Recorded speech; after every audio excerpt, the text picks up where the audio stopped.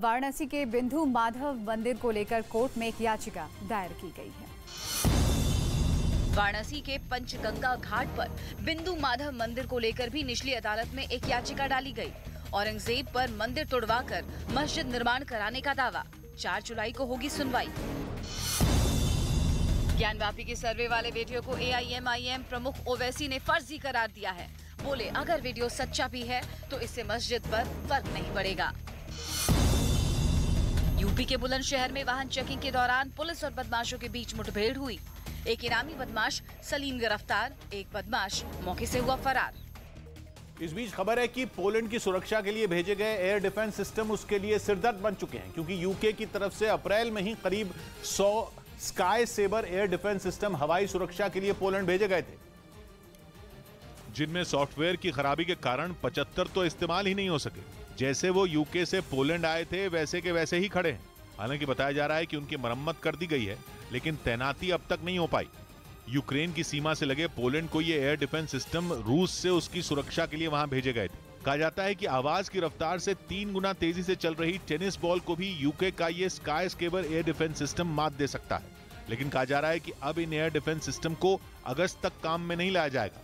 जिस पर लंदन के रक्षा मंत्रालय की तरफ़ से सफ़ाई दी गई कि गर्मियों के आखिर तक इसे तैनात करने का पहले भी कोई प्लान नहीं था। लेकिन दावा यह किया जा रहा है कि यूके की तरफ़ से आई सफ़ाई में सच्चाई नहीं है। क्योंकि पोलैंड की सीमा यूक्रेन से लगती है। एयर डिफेंस सिस्टम को पोलैंड भेजने का मकसद यूक्रेन जंग के दौरान पोलैंड की सुरक्षा से था।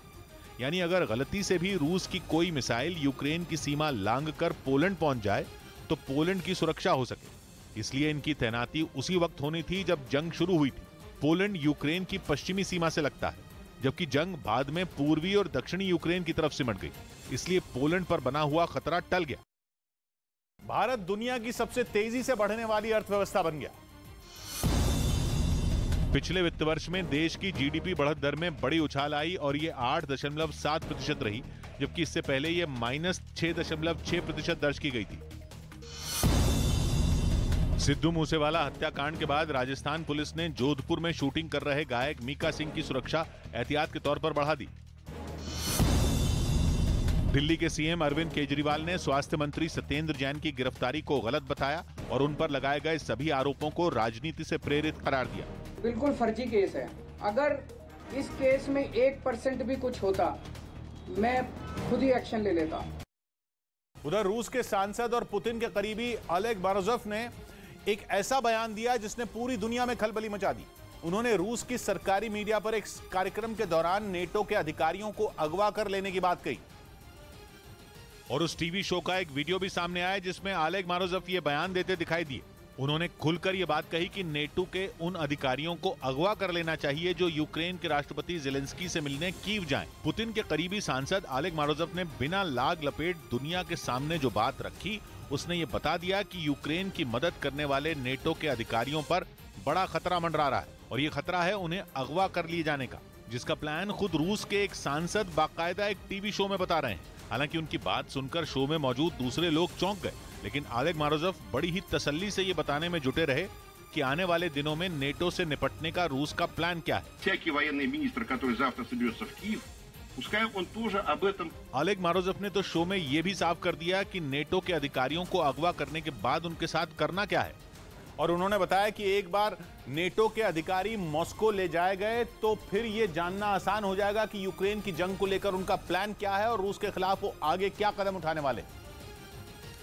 क्योंकि ये नेटो देशों की मदद ही है जिसने युद्ध में रूस की नाक में दम कर दिया है। तीन महीने से ज़्यादा वक्त से यूक्रेन की सेना चट्टान की तरह रूसी सेना के सामने खड़ी है। रूस के घातक से घातक हथियारों का भी जवाब जेलेंस्की की सेना के पास है।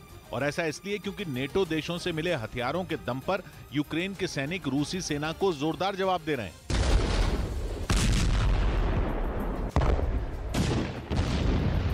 कुछ ही दिनों में जंग जीत लेने का सपना देखने वाले रूस को तीन महीने से ज़्यादा वक्त तक युद्ध के मैदान में जूझना पड़ रहा है। ज़ाहिर है, पहले से ही नेटो देशों को अपना दुश्मन मानने वाले रूस की खींच और भी बढ़ गई होगी।